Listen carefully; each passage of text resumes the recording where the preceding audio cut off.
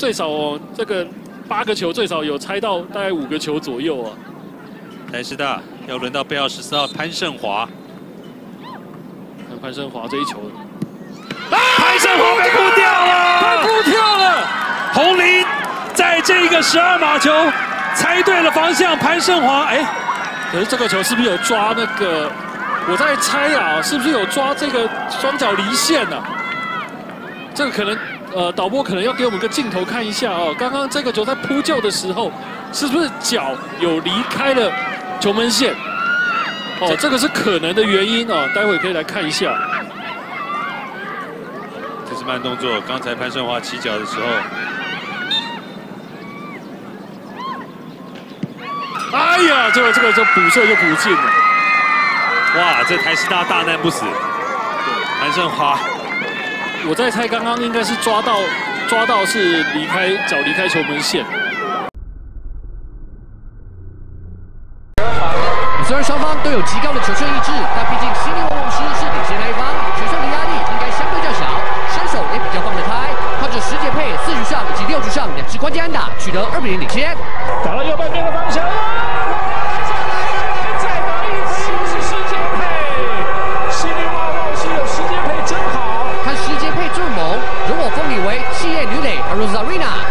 六局下，黄蜂羊头 Casey Carson 是在满脸状态，直接化身七眼女垒大谷翔平，二刀流炸裂。这球击成了飞球，转左外野，够够不够远啊？这球啊！这球啊！这球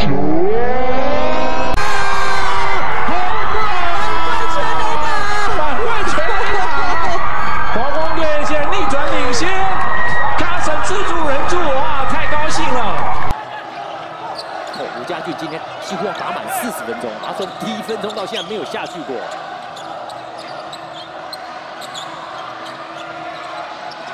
有点拥挤啊，要注意到进攻时间，剩下四秒钟。吴家俊这球转身出去没有第一时间，哇！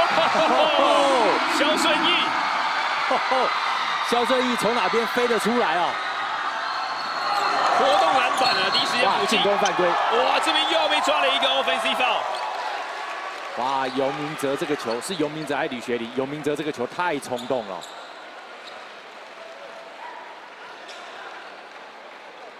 台体大这个时候又不能够牺牲一次暂停来稳定军心哦，因为他还是必须把暂停给留住哦。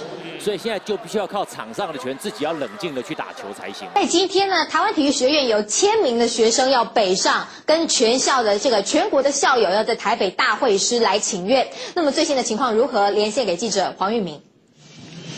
好的，国立台湾体育学院呢，为了升格大学，捍卫校名，今天动员了上千名的师生走上街头抗议。那么来看现场最新的状况。要不要支持王世清、王立伟？我们要用选票支持他。好的，事实上呢，今天除了很多的立委到现场助阵，包括呢台湾知名的职棒选手张泰山等人呢都来到现场，因为他们也是这个国立台湾体育学院毕业的。那么他们的主要诉求呢，就是呢希望呢可以成证明成为这个国立台湾体育大学哦。不过他们的名字呢跟另外一所在林口的国立体育学院呢名字有冲突到，所以说呢他们今天选择到教育部旁边呢，带着上千名师生走上街头哦，希望教育部呢尽快给。他们回应，否则呢，他们还是会持续抗争下去。好了，以上现场的最新状况，我们先把镜头还给棚内。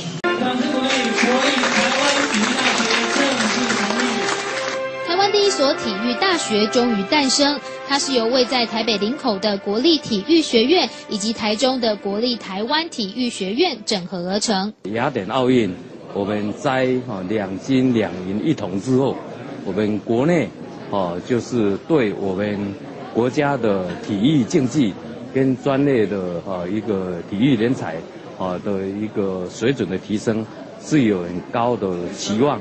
大学的整变哈是国家的政策，也是一个哦世界的趋势了。为了让台湾的高等教育更具竞争力，教育部推动大学整并，在两年半前成立筹备处，终于通过两校合并案。未来包括林口校区、台中校区以及高雄左营训练中心，规划有五个学院、二十个学系以及三十四个硕博士班，成为台湾体育人才的培训摇篮。两个女生盯着荧幕公开解释，他们搜集到的证据可以证明考试入学分发委员会所设计出的登录志愿网站出了错。哈里同学可能被迫从桃园到台中念书，因为这网站从一开始就没有说明国立台湾体育大学的两个校区分别改名，比较新旧更新日期差了三天。不过这错，教育部可不认。主管机关第一个最简单的答案就是不让我更改。为什么？呃，他们只是说，就是简章上面是规定不能更改的，所以不能更改。他们会把责任是归属在，是不是归属在说我没有看清楚那个消息是公布在哪，我没有看清消息，所以这部分出错是我要负责。简单来说，台湾体院过去就是桃园校区的简称，但现在改成台中区才会让人搞混。但或许只有两个学校改名，考选会认为影响不大。不过人家李同学可是很认真做功课，就担心行政机关的错会毁了他的生涯规划。说在那一本黄色的简章里面，它是有注明的，有分桃园跟台中。可是，在登记志愿的系统里面，他们却说，因为已经发布消息了，所以系统已经自己更新了。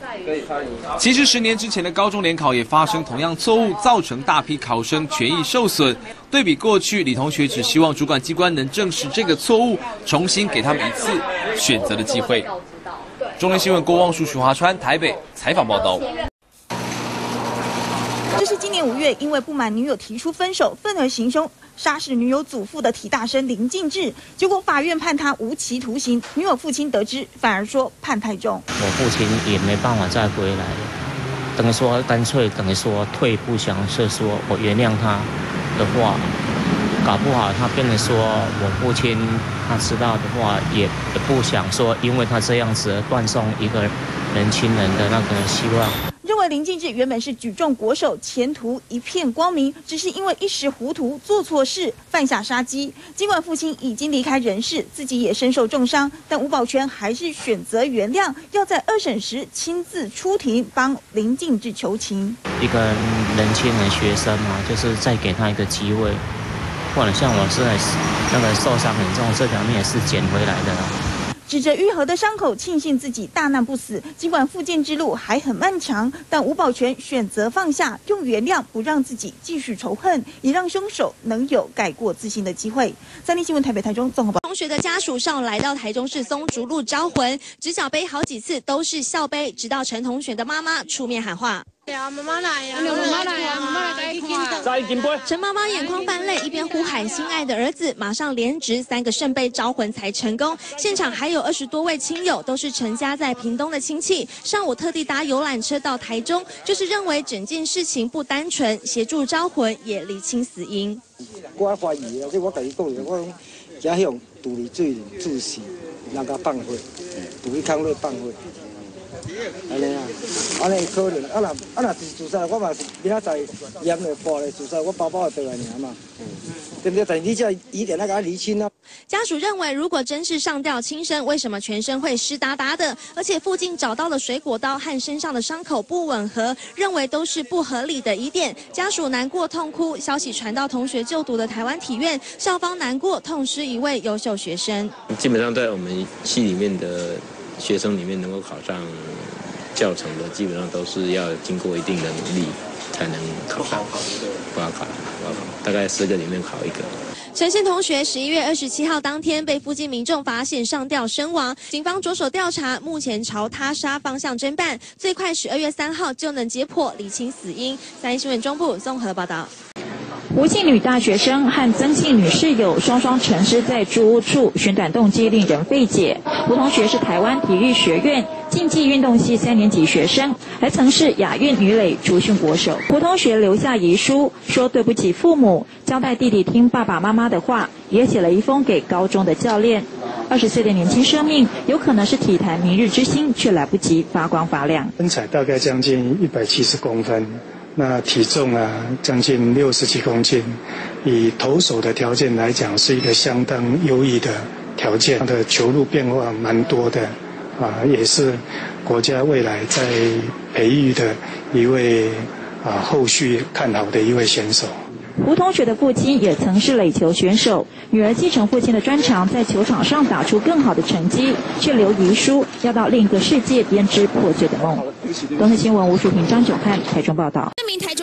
黄姓同学多次出现在高铁临柜的柜台，台中高铁站能看到他的身影，没一下子又出现在新竹，不到几个小时又在高铁左营站看到他。他到高铁并非搭车，而是拿着信用卡从网络上订来的车票，再退票换现金，但。全是盗用别人的信用卡，利用他人客户的那个信用卡卡号上网，在那个高铁的订票系统订票，再将车票拿至。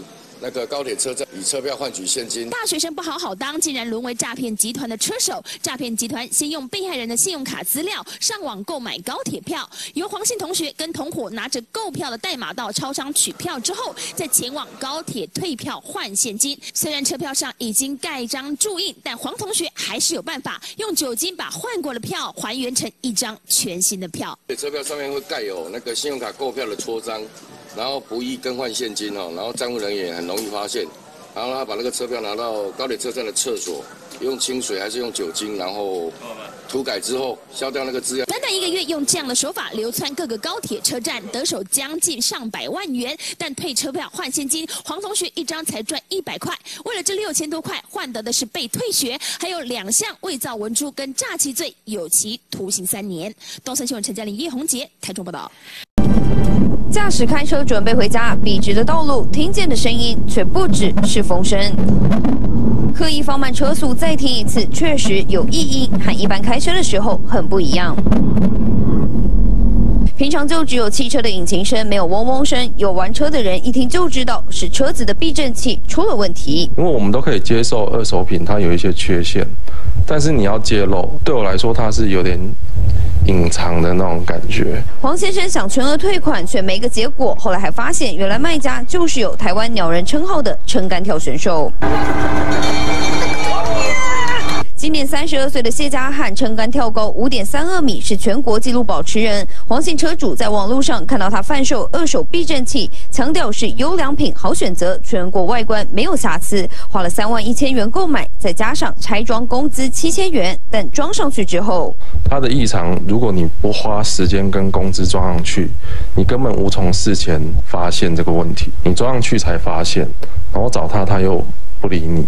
台湾鸟人谢家汉被控诉网络卖商品有瑕疵，又不愿退款，但他也替自己澄清。不知道这个过程是怎么样，但是我可以确定的是，在我这边是没问题。要清理好，它装上去，这怎么可能还还退？谢家汉强调，当初避震器装在他车上时也没有异音，而且卖的价格甚至比行情还要低。这一回网络交易惹纠纷，买卖双方瞧不拢，协商破局，也意外让台湾鸟人在网络上的车友身份曝了光。三立新闻张德生、李玉景台北报道。李承轩担任那个游游泳教练，号称是体育界的王子。他是李承轩，在健身房当教练，阳光男孩的形象让他参加电视台交友节目，很多人喜欢。就连演戏，他也很在行。我我货送来了，送货了。李承轩也是这一次八仙城堡的受害者。当天，他跟在服替代役的弟弟李承军一起到八仙乐园参加彩色趴，兄弟俩都没躲过大爆炸。但爆炸发生的时候，两人失散了。弟弟非常着急，立刻打电话给远在台南最亲的阿公。后来找到两人，哥哥李承轩重伤，送内湖三总；弟弟李成军状况稍好一些，送联谊仁爱。其实李承轩跟李承军很少见面，因为两人从小父母离异，哥哥跟着妈妈北上，弟弟跟爸爸留在台南。两人这次是难得相聚，却碰上意外。八仙承包后，家人没有一天睡得好觉，家人更打算，如果弟弟状况好转，要把他转送到南部的医院就近治疗。彼得山客华玉山八通关古道。父子断崖坠谷爆头王。彰化县一行十六人登山健行队伍，一月十五上午从八通关古道欲前往云龙瀑布观赏风景时，一名五十五岁陈姓女山友在古道一点五公里父子断崖处附近路段时，已因脚步未踩稳，不慎坠落到山谷内。刚才修山区那样，应该是那个没有报警了呀，有通报。现场山友除报警外，也曾试图抢救陈女，可惜苦无救援工具。南投县消防局十一点多获报，派遣二十多名警义消上山救援，在中午十二点五十二分时，透过绳索垂降至一百米深山谷，发现陈女鞋子。在下午一点十二分发现陈女，但她头骨破裂，已明显死亡。目前警义消正设法以绳索下放至溪谷约两百五十公尺深处，再由搜救人员以人力接驳方式将陈女大体背运上岸。